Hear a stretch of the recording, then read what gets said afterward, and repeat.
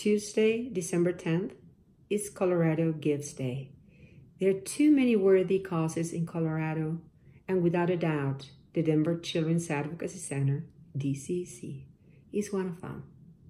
Every day at DCAC, we work very hard to prevent child abuse and neglect from happening, to bring awareness to different communities about the importance of early childhood development, and to help traumatized children and families. So give to DCAC on Colorado Gives Day. It is worth it.